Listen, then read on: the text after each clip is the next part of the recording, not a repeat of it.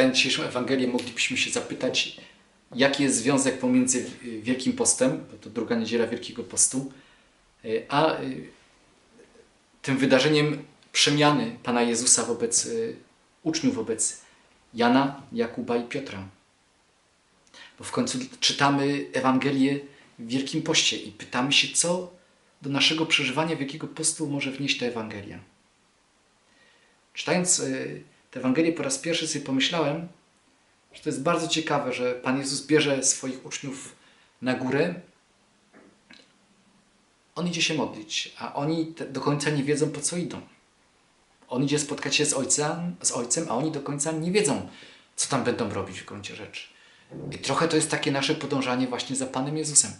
Pan Jezus wie, dokąd nas prowadzi, wie, co chce z nami uczynić, wie, co chce nam ofiarować, a my do końca nie wiemy. I myślę, że dlatego też niekiedy zachowujemy się trochę jak ci apostołowie, czyli jak Jakub, Jan i Piotr. To znaczy, kiedy Pan Jezus się modli, my śpimy. Bo sen jest trochę taką naszą obroną. Człowiek się wyłącza wtedy, kiedy nie za bardzo wie, co robić, albo kiedy to, co ma robić, go przerasta. Wtedy zaczyna robić, no właśnie, wtedy może pójść spać.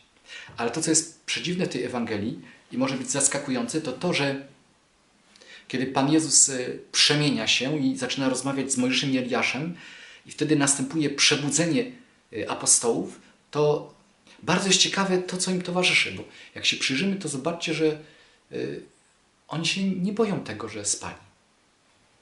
W nich nie ma lęku wtedy. To jest bardzo ciekawe, że w nich nie ma lęku. Wręcz przeciwnie, Piotr mówi, dobrze, że tu jesteśmy, czy w innym tłumaczeniu, dobrze nam tu być.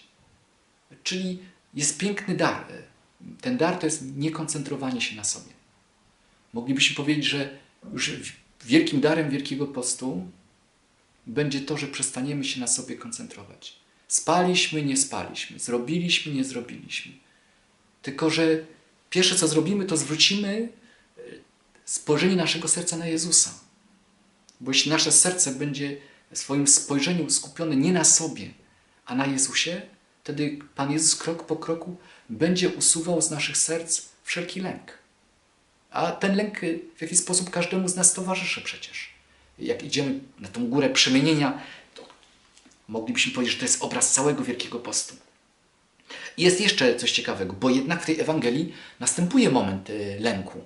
Jest napisane, że kiedy to mówił, pojawił się obłok. Kiedy Piotr mówił, postawmy namioty dla Mojżesza, dla Eliasza i dla ciebie, pojawił się obłok i osłonił ich. I wtedy się zlękli. Można powiedzieć, że kiedy się zlękli? Kiedy przestali widzieć Jezusa. Dopóki widzieli Jezusa, nie mieli w sercu lęku. I chyba naszym pierwszym zadaniem na Wielki Post, i możemy już sobie zrobić taki ultra błyskawiczny rachunek sumienia z tych minionych 10 dni, jest to, czy rzeczywiście w sercu naszego spojrzenia na Wielki Post jest obecność Jezusa w naszym życiu. Ponieważ zlękli się dlatego, że obok zasłonił im Jezusa. Obok zasłonił im Jezusa i, i dlatego się zlękli. Dopóki jest Jezus, nawet jeśli coś ich przerasta, to można powiedzieć, że wiedzą przy kim są. Kiedy znika im Jezus, nagle cała sytuacja zaczyna ich przerastać i przerażać. I można powiedzieć, że ten głos, to jest mój syn umiłowany, jego słuchajcie, to jest nasz sposób widzenia sercem Jezusa. Słuchać Jego głosu. Wtedy Pan Jezus krok po kroku będzie z naszych serc usuwał wszelki lęk.